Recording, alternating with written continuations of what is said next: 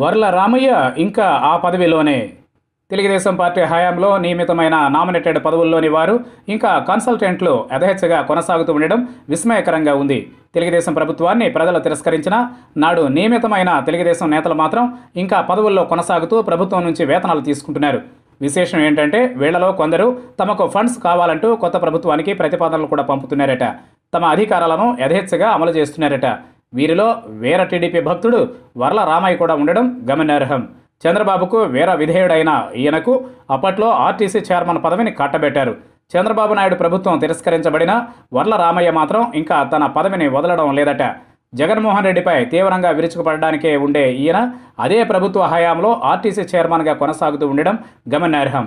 TDP వాళ్ళు మర్యాదగా తప్పుకోవాలని గౌరవంగా తప్పుకోవాలని ప్రభుత్వం నుంచి సూచనలు వస్తున్నా వర్ల వంటి వాళ్ళు పదవులను వదులుకోవడం లేదని తెలుస్తోంది. తొలగించేంత వరకు వీరు ఆ పదవులను వదిలే రకంగా కనిపించడం లేదు. ఇక వీళ్ళు మాత్రమే కాదట. చంద్రబాబు హయాంలో భారీ వేతనాలకు అంటూ నియమితమైన కన్సల్టెంట్ల కథ కూడా అలానే ఉందంట. మున్సిపల్ శాఖలో అమరావతి విషయంలో బోలెడంత మంది కన్సల్టెంట్ల హోదాలతో నియమితమయ్యారు. వారికి లక్షల్లో వేతనాలు చెల్లిస్తున్నారట. అంతేగాక అభివృద్ధి నిధులు కావాలంటూ వాళ్ళు ఇప్పుడు నిస్సిగ్గుగా కొత్త ప్రభుత్వానికి నివేదికలు కూడా ఇస్తున్నారట. కొత్త ప్రభుత్వం ఏర్పడి రెండు నెలలు అయిపోయినా ఇలాంటి వాళ్ళు ఇంకా తమ పదవులను పట్టుకుని వేలాడుతూ ఉండడం గమనార్హం. వీరికి సాధారణ పరిపాలనా శాఖ నుంచి మరో వార్నింగ్ కూడా వచ్చిందట. పదవులు వదులుకోవాలని గౌరవంగా తప్పుకోవాలని సూచిస్తున్నారట.